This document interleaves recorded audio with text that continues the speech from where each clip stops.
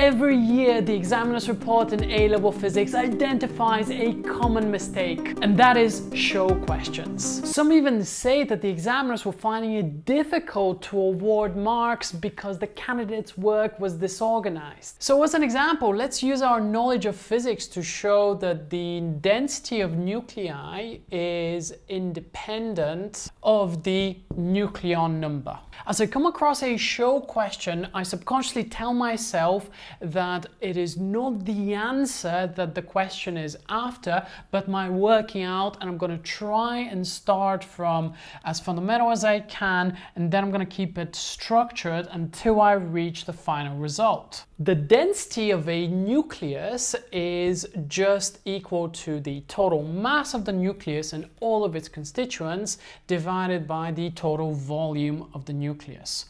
Hmm, well, what is the total mass equal to?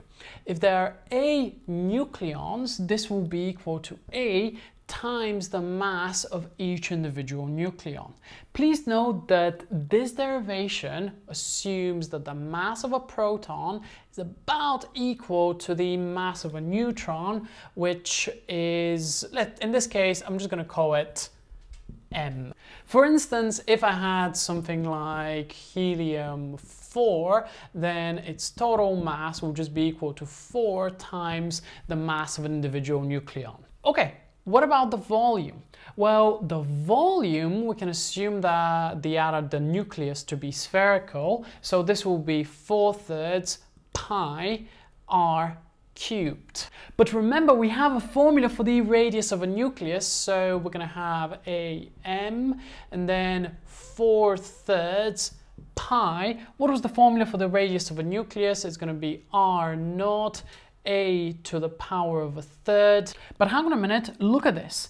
a to the power of 1 over 3 cubed will end up cancelling, so my final step will just be to show the actual cancellation r naught cubed a to the power of just 1 and this here will end up cancelling out. And this is why the density of a nucleus is independent of the nucleon number.